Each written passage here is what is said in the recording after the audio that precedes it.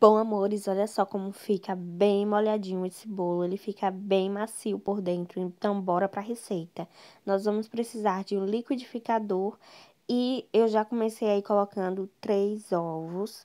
Vou acrescentar também meia xícara de leite, certo? Eu coloquei pela medida desse copo, que é 250 ml. Depois disso, eu fui e acrescentei é, meio pacotinho de queijo parmesão, certo? E duas xícaras de açúcar. Essa xícara minha ela é média.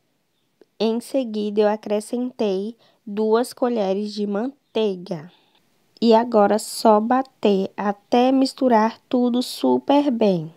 E agora vamos ao ingrediente principal, que é o aipim. Você pode ralar ele ou você pode fazer igual eu, cortar os pedacinhos. Aí tem a quantidade de 250 gramas de aipim, menos de meio quilo, tá?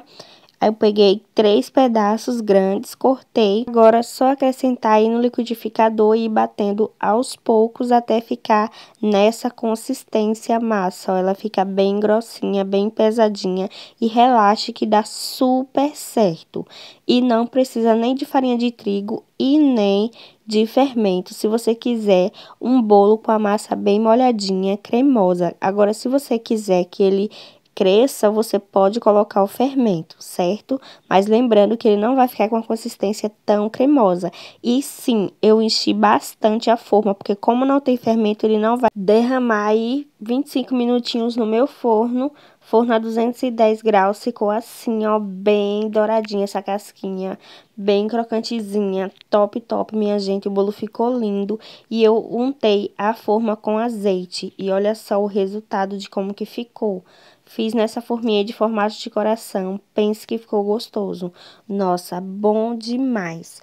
Amei, espero muito que vocês tenham gostado. Se gostou, deixa o like, compartilha com as amigas. Olha a cremosidade desse bolo, minha gente. Muito, muito, muito gostoso. Super fácil de desenformar e ficou delicioso. Espero que vocês façam aí. Espero muito que vocês tenham gostado também. Beijo, fiquem com Deus e até os próximos.